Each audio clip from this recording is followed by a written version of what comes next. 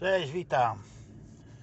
Często mi się zdarza igrać z losem. No, no, nie należę do takich ludzi zbytnio takich podporządkowanych, wystraszonych.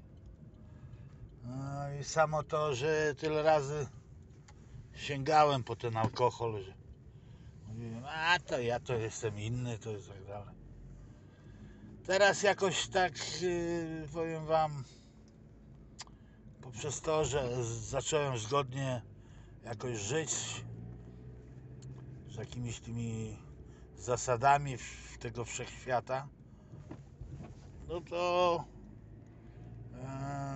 już tak nie ryzykuję, nie? Powiem bardziej, no taki się stałem bardziej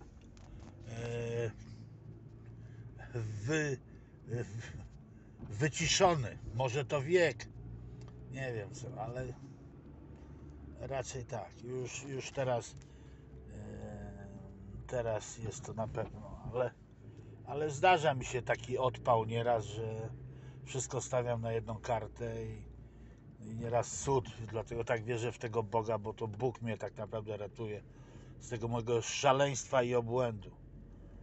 Pamiętajcie, jak ja- Amerykanie napisali te, te kroki, tam jest słowo sanity i przywrócił nam zdrowy rozsądek. No. A przeciwieństwem słowa sanity jest insanity, szaleństwo. Szaleństwo.